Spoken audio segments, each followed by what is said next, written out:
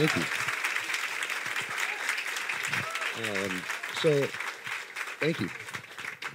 Uh, this is really an exciting time for everyone. Um, I'm actually representing, can everyone hear back there? I have a low voice, so I'm trying to make sure I can be heard. Um, I'm actually from LA myself, so um, I'm one of the uh, representatives for here in LA. Uh, Bruce had to go home. He's going to the summit on this weekend, so it was very important uh, that we were here uh, to represent for not just us, but for all of you.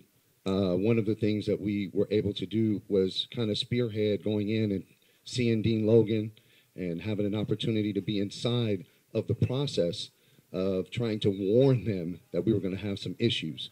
Um, and so, but today is an opportunity for all of us to be able to be very appreciative of the young men and women who have put uh, brand new Congress together. Uh, so let's give them a round of applause.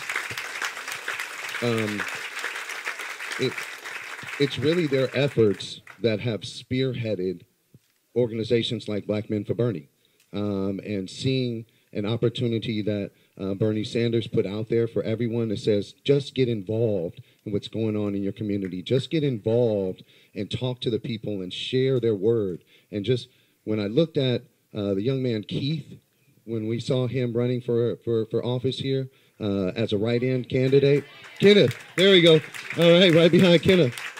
And uh, you know the words that came from Bernie Sanders uh, directly to him were to get out in his community and feel the community's pain um, and be willing to accept that responsibility of the pain in your community and then do something about it.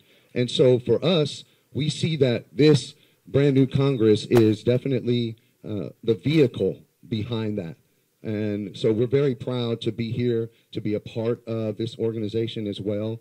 Uh, we are going to be looking for candidates. We actually had a candidate that we were pushing uh, in our district uh, 37 who made it through the primary, Chris Wiggins. So he's actually into the general election uh, for District 37. He will be going against Karen Bass. And so that's the beginning process that we're talking about here. So with everyone having the ideas that they have, and with everyone having the passion that they have, and with everyone having the pure heart that they have, that brought them here today, is what's going to expand this everywhere across the nation. And so to answer some of those questions that you talked about with being community leaders and organizers, that's one of the things that we plan on championing in our black neighborhood. And not just our black neighborhood, but in areas outside of that. Because we just don't live in one particular area, we live everywhere. And that's everyone in this room. We live everywhere. And we're all together in this one goal.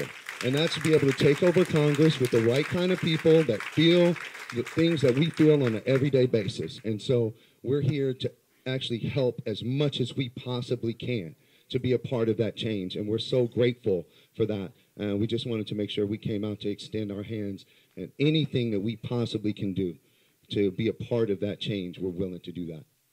So.